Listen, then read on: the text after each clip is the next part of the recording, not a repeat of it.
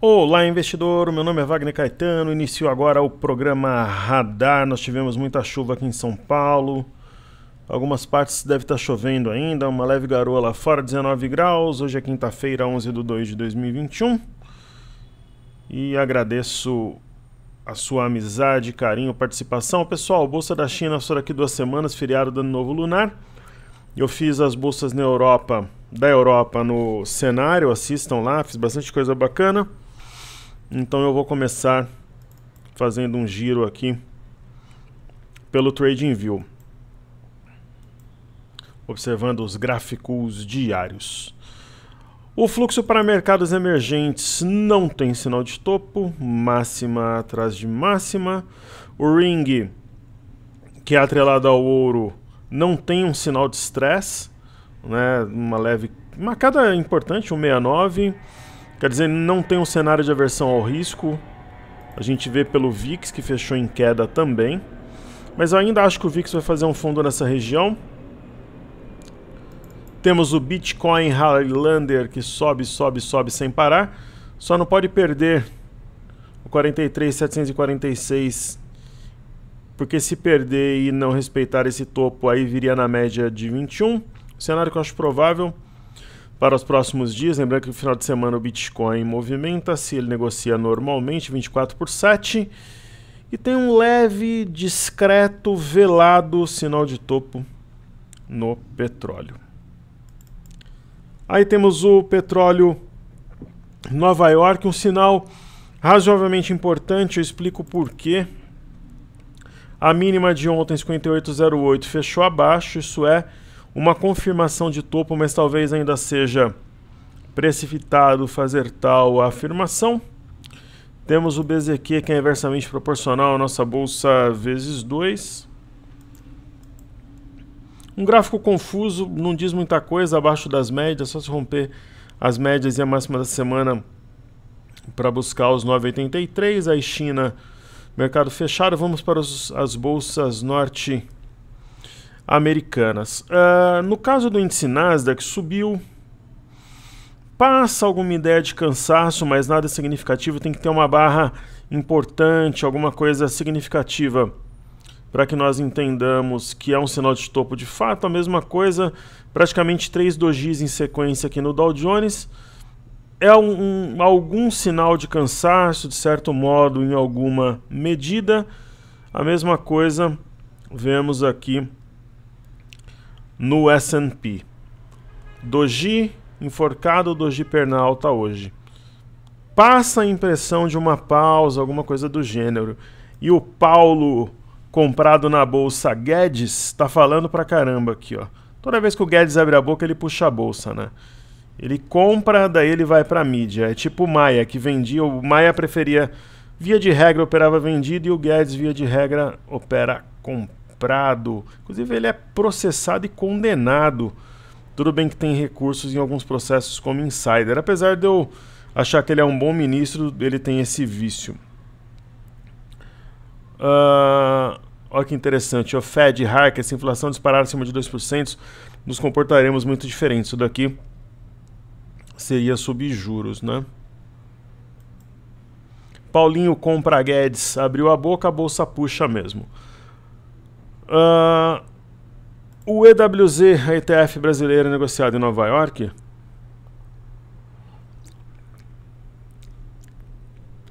uma alta de 0,73. Uh, ah, é um cenário bastante confuso, né? Fechou abaixo do 35,10, mas em alta, sobre as médias, um candle vermelho, é uma bagunça total. Falamos do VIX e o DXY demonstrando fraqueza com as médias praticamente cruzadas, cruzadas, levemente cruzadas em modo venda. Temos o Ibov em dólares, um gráfico mais maluco que o Batman também, como eu coloquei o título hoje do cenário em vídeo, bastante indefinição. Né? Aí a ideia é deixar realmente as pessoas confusas perto do feriado de carnaval, não achem o contrário. Isso aqui não é loucura não, eu coloquei trechos do jogo ontem no vídeo. Como colocou o Web aí nos comentários, é B4, Bolsa, Brasil, Balcão e Bola. Deixa eu ver se tem algum comentário neste vídeo aqui que eu não tenha visto, queridos.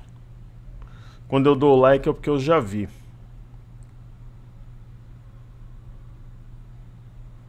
Que eu vi tudo. Tinha, teve algum vídeo aqui que tinha um comentário que eu não tinha eu, eu vi depois e tal.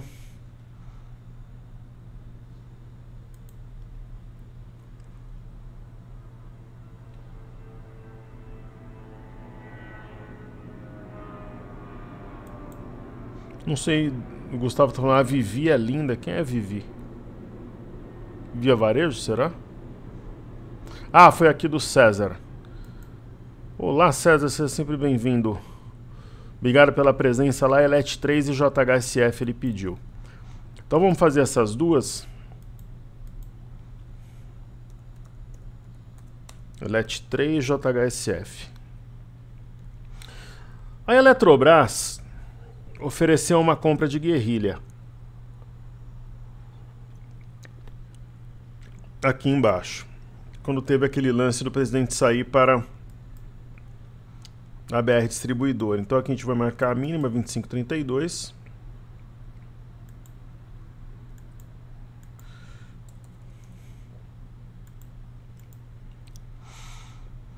Romper esse fundo anterior. Uh, ao mesmo tempo, se, se você me perguntar graficamente o que está sendo desenhado aqui é um mastro bandeira. Inclusive tem a típica redução de volume na bandeira. Então pode rasgar isso aqui para cima sim. Porém, entretanto, todavia, nós temos aqui ó, 29 e 22, 29 e 21, 29 e 15. Se perder os 29 e 15, na minha visão, água no chope. E aí o César pede JHSF3.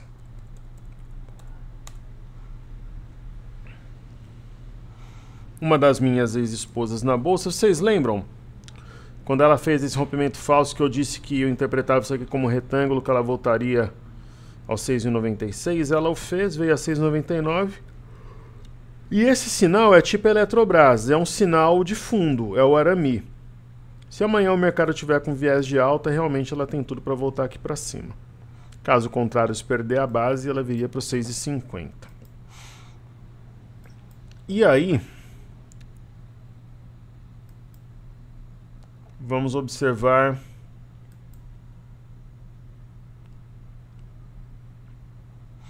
os comentários aqui do vídeo que eu fiz no horário do almoço. Tércio Plácido dos Santos Neto. Boa tarde, concordo plenamente. Meia tanto sofrimento de milhares de famílias. Uma segunda onda de Covid pensar em carnaval. Quem pensa em carnaval e se lamenta é, é, não é sinal, é prova de loucura e é uma pessoa com problemas é um sociopata. Alexandre Mendonça, parabéns, professor, te acompanho desde 2017, seu pragmatismo me representa, forte abraço. Alexandre Mendonça de Campinas, é uma honra tê-los conosco, vamos em frente. Renata Santala, parabéns, professor, peguei o trade de 800 pontos no índice, estou há alguns meses acompanhando seu trabalho, seu método funciona muito bem, tanto para swing trade quanto para day trade. Obrigado por compartilhar. E o Luiz Otávio acertou o professor com antecedência para quem viu confiando no seu trabalho nos argumentos lucro no bolso. O que aconteceu aqui foi o seguinte. Eu abri o vídeo anterior, fazer estudo do Minins, dizendo o seguinte, a gente tem no diário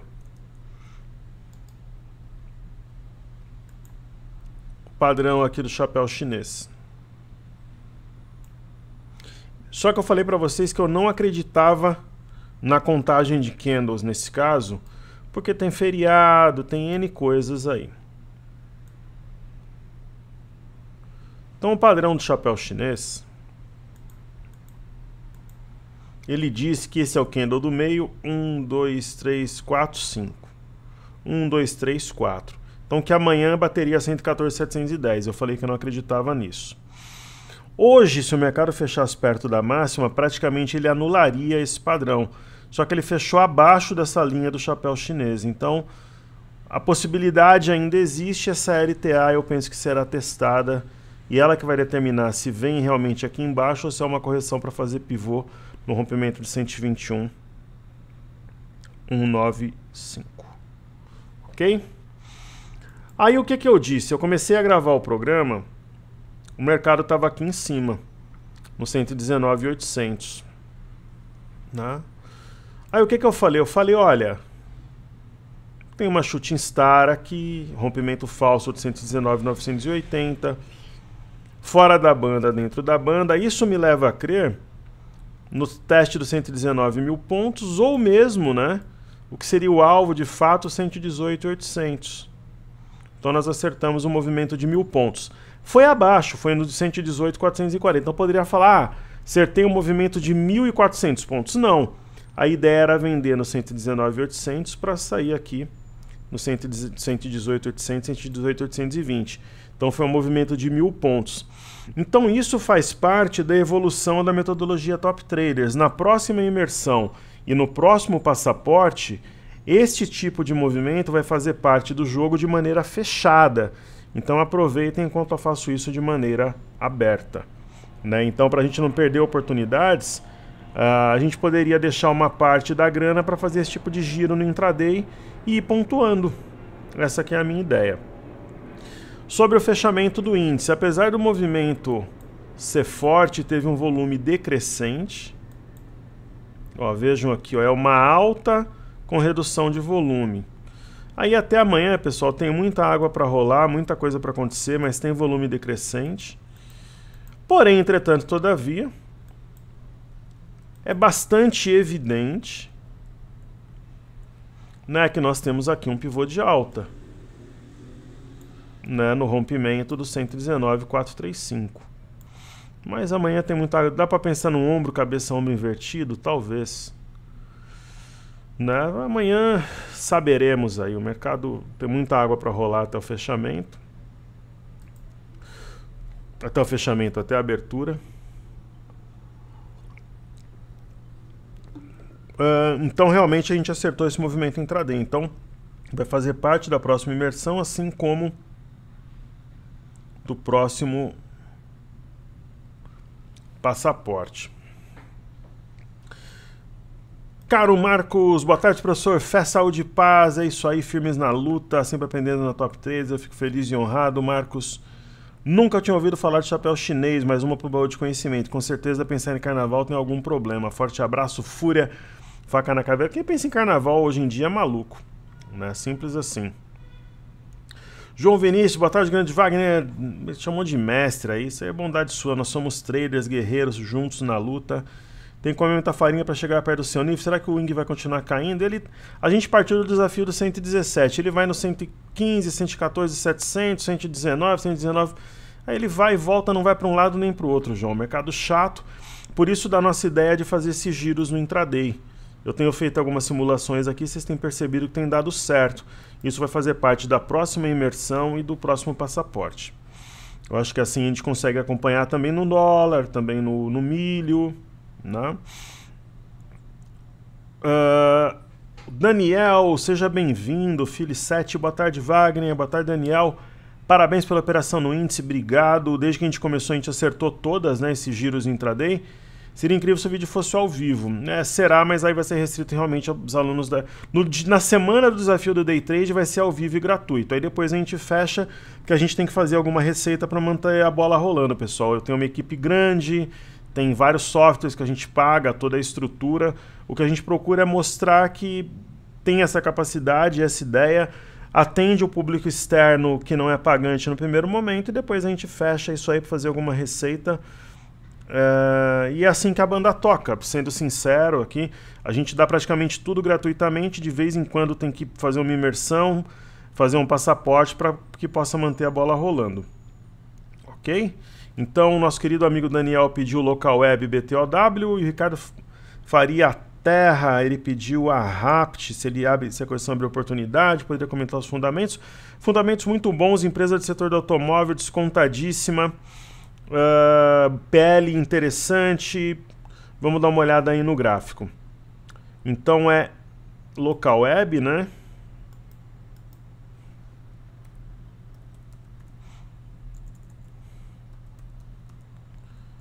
LWSA3.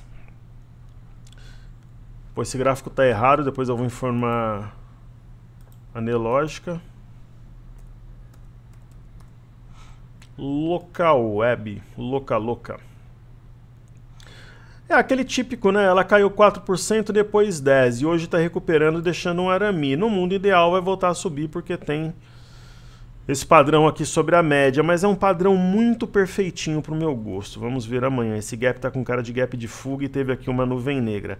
É a nuvem negra versus Arami. Nesse time eu jogo no time do Arami. Não, eu jogo no time da nuvem negra. Eu acho que não sustenta essa alta.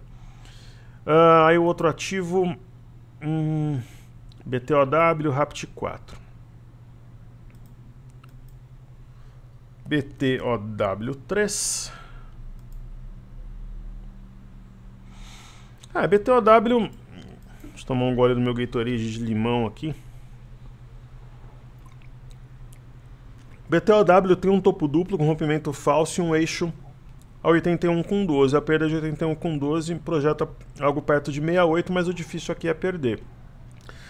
Se amanhã tiver um pregão animado, ela deve voltar aqui para fazer um topo triplo, um oco, romper isso aqui de vez e voar, estourando esse topo duplo, mas se, esse fundo duplo. Mas se amanhã começar a descer, a tendência é que ela perca o eixo aqui.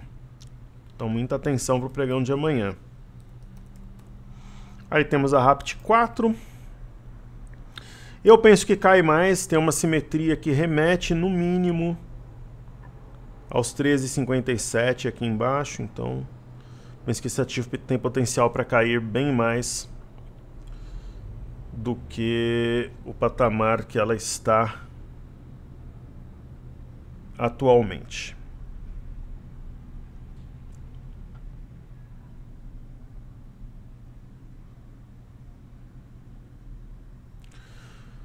Certo?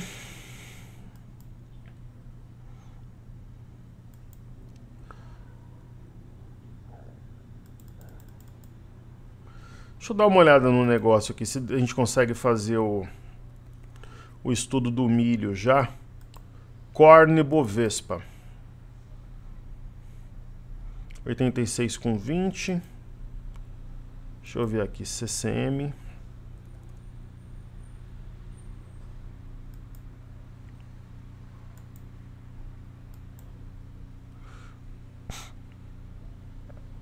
Vamos ver aqui no, no nosso querido Cartesia.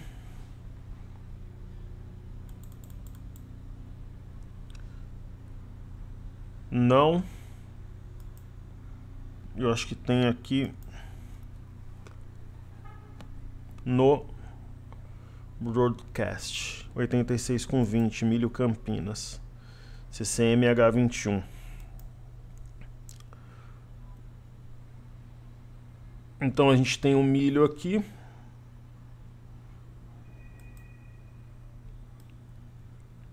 Tendência de alta, as bandas de Bollinger justapostas. O milho ele é muito técnico para operar. Por exemplo, hoje dia 11, ó, ele abre aqui às 9, faz um movimento forte, estrela cadente, corrige.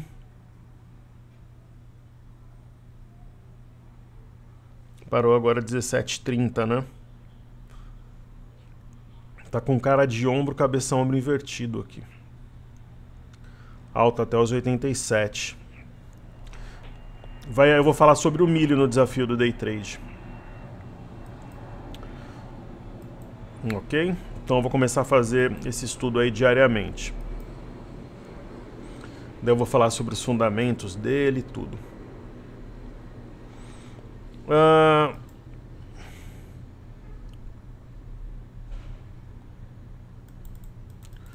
Ativos fixos. B3SA3, não confio nesse martelo. Minha interpretação é de correção na parte baixa do Marobuzu.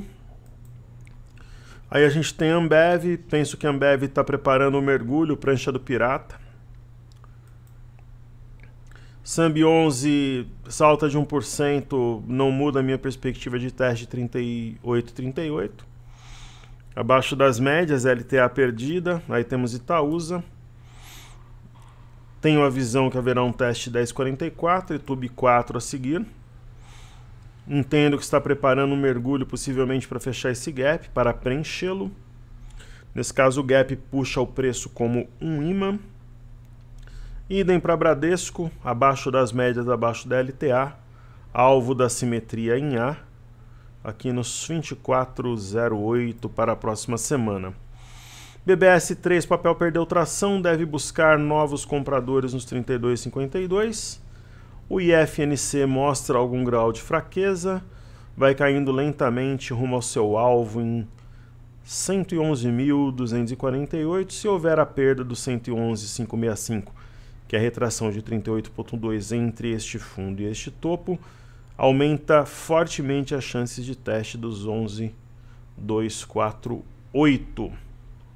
A seguir nós temos Vale, também conhecida como Valeri. A Vale, de acordo com a nossa com o nosso gerenciamento de posição, caso tivéssemos uma compra, a mínima de hoje é 94,38. Lembra que eu comentei? Chegar no finalzinho do pregão, tiver abaixo, lucro no bolso para quem comprou aqui na consolidação de fundo. Então, nós sairíamos, digamos assim, da posição em Vale se tivéssemos comprados. E a Petrobras ficou em cima do muro.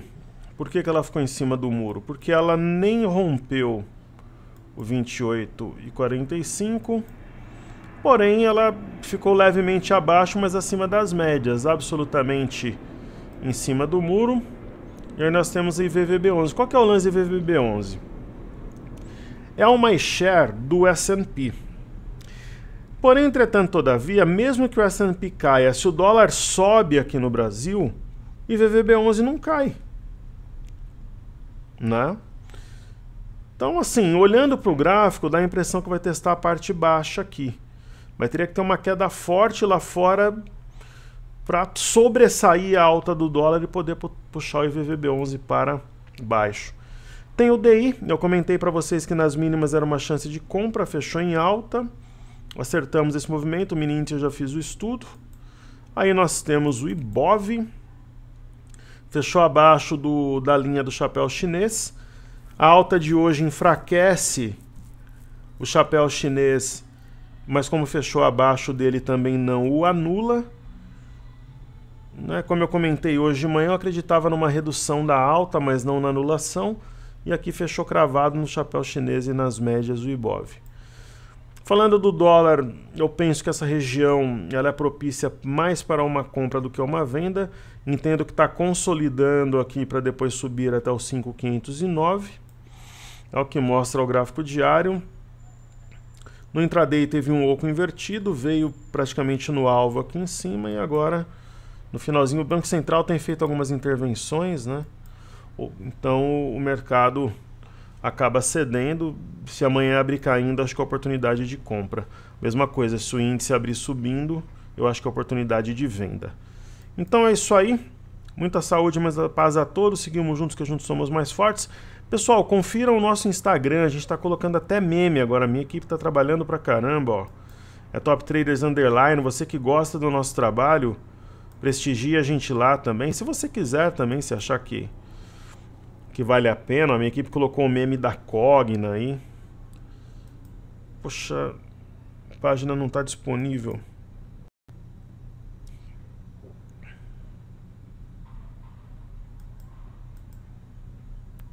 Cara, essas redes sociais também.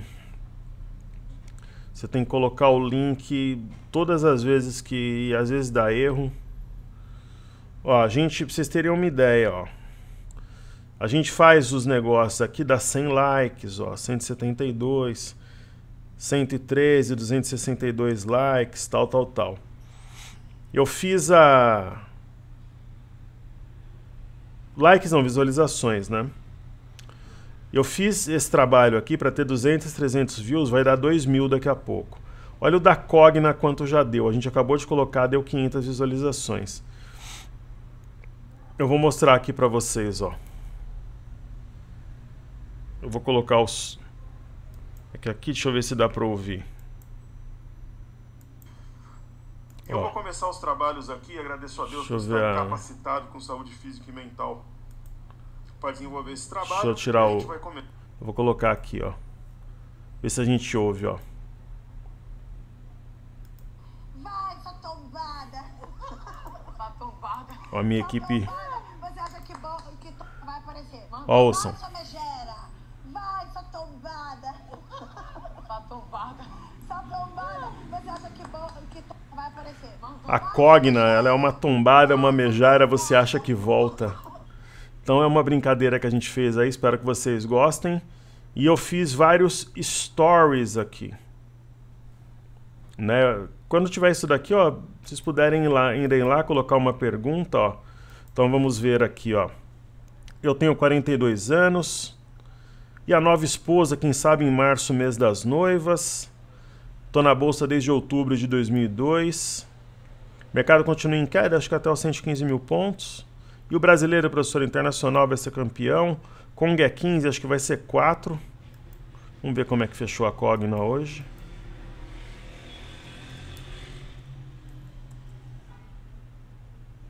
Ela tá indo lá para os 4 reais. Kong é 4. Ela tá mais para Kenga do que Conga. Kanji com arroz 2, acho que ambos deveriam ser proibidos. Melhor jogador depois do Pelé, Zinedine Zidane. Branco ou preto, aqui é Corinthians. Aí tem aqui a gente falar da teoria de Down. Só coisa muito bem feita, pessoal, para apreciação de vocês. Quente ou frio? Eu coloquei frio de gramado e calor de bombinhas. Eu não entendi muito bem essa pergunta. Acho que tem maldade aqui, mas tudo bem. Quem foram, quais foram seus mentores? Eduardo Matsura, Ronaldo Nobre, Márcio Noronha e Jesse Livermore, maior de todos os tempos. Aqui é o Inter, eu tinha comentado. Essa daqui a gente tem que responder, né? O pessoal quer provocar. Que dia nasceu? Nasci dia 13 de janeiro de 79. Qual projeção com com esta alta? Eu acho que vai ser 115k na semana que vem. Na verdade, a gente lançou o desafio, não vai nem para um lado nem para o outro. Querido amigo Paulo, falando de é, Banco do Brasil uns 45 até o final do ano, quem sabe? Aí aqui, né, vem a pergunta, já operou Forex? Já operei entre 2011 e 2012, eu operava para uma comunidade árabe, eu operava CFDs de dólar contra real, real contra dólar. Já operou Forex, aí perguntou se acha válido. Eu acho válido se tem estratégia de manejo de, manejo de risco que a grana possa estar lá, como todo mercado, né? Aí o aluno perguntou sobre milho, a gente está começando a falar sobre milho, né? Teremos novidades em breve e Bolsa Nova máxima histórica final do ano. Eu acredito que sim, acredito mesmo. Acho que ela vai fazer uma correção, depois ela deslanche e bate a máxima. E tem o um meme da Conga aqui. Acompanhem lá, pessoal. Saúde e paz a todos. Valeu!